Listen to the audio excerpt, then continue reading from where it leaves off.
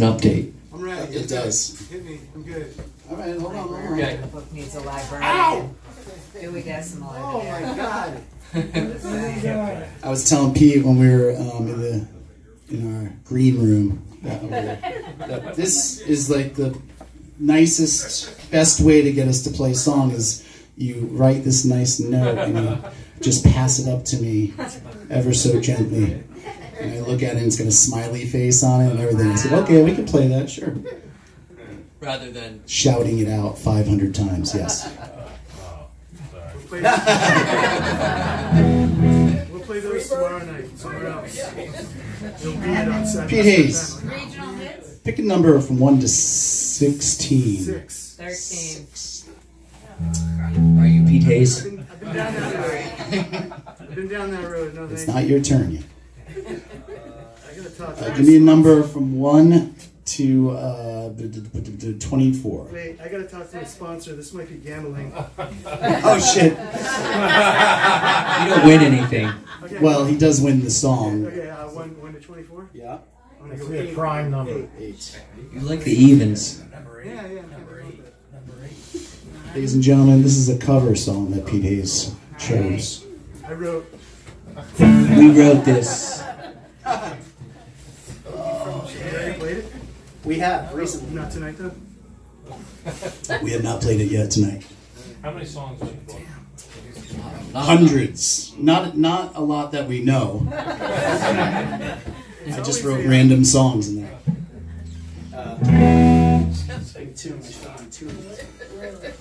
Yeah, I'm. Cur- you know, suspense is killing me now. I think you know. We, just, we played it the other. I don't know anything anymore. Nobody